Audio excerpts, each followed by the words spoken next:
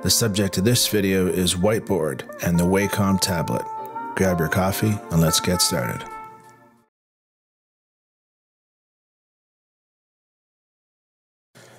The Wacom tablet comes with the tablet and the pen and some extra pointers.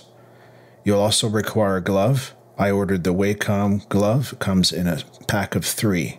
You'll require the glove. So let's get started with using the tablet. Let's open up whiteboard. And here are some examples of whiteboards that I've created within uh, within Teams and just using the whiteboard app itself.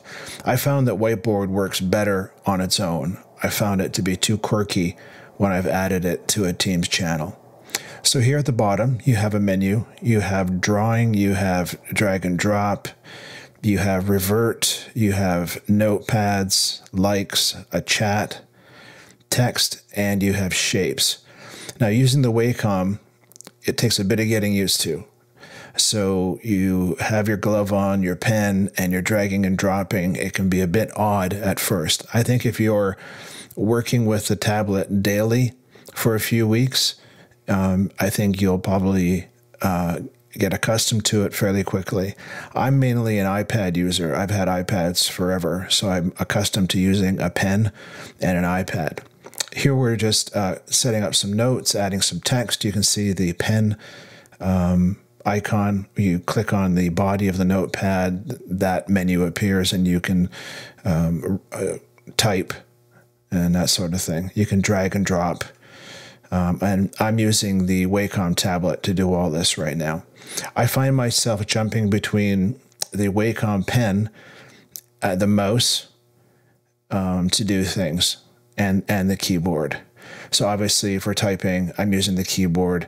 Sometimes I'm using the mouse to drag and drop. And here you can see how finicky it can be using the tablet. But again, it is something that, you know, you get accustomed to like using an iPad for the first time. So here you can drag and drop. Here in the upper right, you've got a timer, which is very helpful.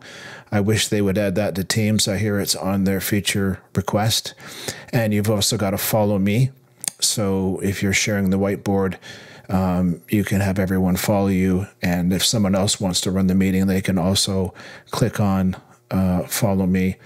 So the, the whiteboard application itself, I can see it being very helpful. Um, you can help focus the conversation. You could build uh, charts, uh, have discussions, work with on diagrams. I think the limitation of this is going to be the uh, meeting chair's ability to use the tools to draw. So, which do you use, iPad or Wacom? If you have an iPad, use the iPad. Get a pen it'll be a very short learning curve. If you're an artist and you're going to be drawing and you're going to be running whiteboard meetings, then try the Wacom. It's a very good product, good build quality. It's another uh, tool in your arsenal. Hope you enjoy. Please click like and subscribe. Thanks.